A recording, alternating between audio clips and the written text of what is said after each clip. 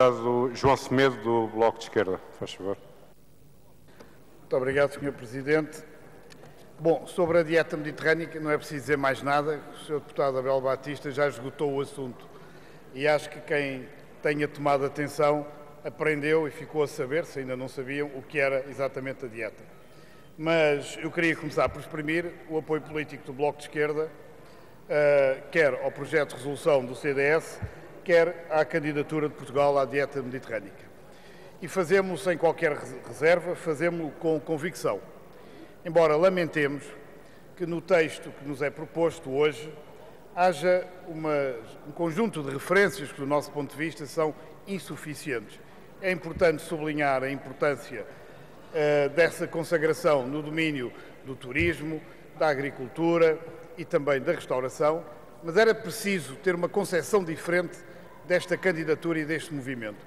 E o que nós pretendíamos, e a nossa intervenção vai nesse sentido, é que esta candidatura servisse de âncora a uma mudança significativa dos hábitos alimentares dos próprios portugueses. Uh, não basta apenas a consagração da dieta mediterrânea, não basta apenas a inclusão de Portugal nessa lista, era preciso que tudo isto significasse um contributo efetivo para a mudança de hábitos alimentares dos portugueses. Não quero regressar à discussão que tivemos aqui há duas ou três semanas sobre os problemas da nutrição, eh, mas lembro-me dessa, bem dessa discussão quando todas as bancadas foram unânimes em reconhecer quando, como nós estamos muito longe de ter hábitos alimentares saudáveis em Portugal.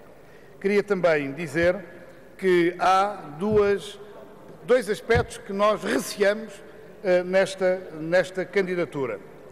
É que a primeira é que, na consequência dela, o resultado mais palpável seja o aumento dos preços sem flecha dos produtos fundamentais que constituem a dieta. É sempre assim.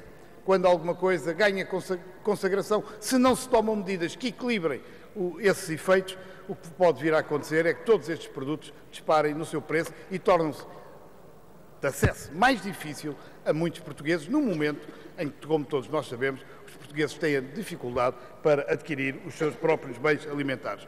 E, por último, dizer também que esperemos que o Ministro e o Ministério dos Negócios Estrangeiros tenham um papel importantíssimo nesta, nesta, nesta campanha e nesta promoção, não se distraia demasiado com a diplomacia económica e também olhe para esta candidatura, porque de ela podem, de facto, resultar contributos positivos, quer para o país, quer para os hábitos alimentares dos portugueses. E, portanto, esperamos que o Sr. Ministro Paulo Portas não se distraia nos negócios da diplomacia económica e olhe também para esta candidatura com olhos e com a atenção que ela merece.